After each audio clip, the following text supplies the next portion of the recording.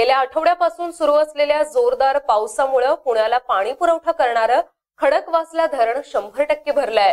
तसेच धरण भरल्यामुळं मोठा नदी पात्रातून पाण्याचा विसर्ग सुरू करण्यात आल्यानं नदीकाठच्या ग्रामस्थांना सतर्कतेचा इशारा देण्यात आलाय.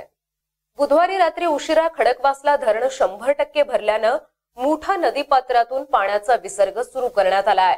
मध्यरात्री दोन वाजल्यापासून सतराशे क्युसेक वेगानं पाणी सोडण्यात येत असून नदीकाठच्या ग्रामस्थांना सावध राहण्याचा इशारा जलसंपदा विभागाकडून देण्यात आलाय. खडकवासला पाठोपाठ पुण्यातील कळमोडी धरणही शंभर टक्के भरून वाहू लागलंय. त्यामुळे पुणेकरांना मोठा दिलासा मिळालाय. दरम्यान पिंपळगाव जोगे घोड आणि नाझरे या धरण क्षेत्रात अत्यंत कमी प्रमाणात पाऊस झाल्यानं या धरणांमध्ये शून्य टक्के पाणी साठा आहे